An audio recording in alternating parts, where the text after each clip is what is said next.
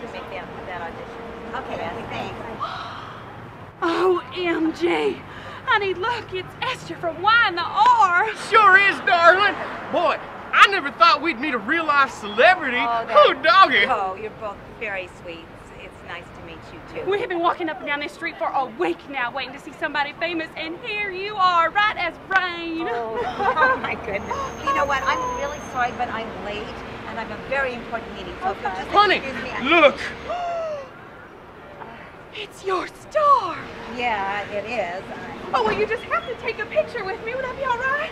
Oh, I, I think so. I have a couple seconds. Okay, let's get in real oh, close. Oh, well, Boy, the guys at home ain't ever gonna believe this. A real life soap star with my wife, and you two look like peas in a pod. Oh, all right, let's get yeah. in real close. Okay, okay. Come on, go. real close. Okay. Now, come Oh, on. wait. Uh, Real excuse close. me. Don't be shy. Are you going? Don't oh, be shy. No, wait, wait, wait. Come on. Excuse me. We where have to where get, are you going? We have to get right up next oh, to oh my goodness. Oh my on- gosh. Oh, it's hot. I, I can't believe I'm doing this. I can't believe I'm thinking about donuts. But here we are. Okay, ready? Take Say, picture, please. Katherine Chancellor's an evil witch. Oh no, I can never say that. Katherine Chancellor's an evil No, witch. don't say that.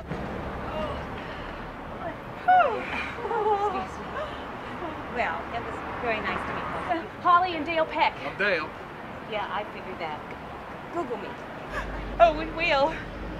Wow, Kate Linder. I know she's like an angel sent right from heaven. Honey, look. It's Eric Braeden's star. I just know Victor Newman's gonna come walking along here any second.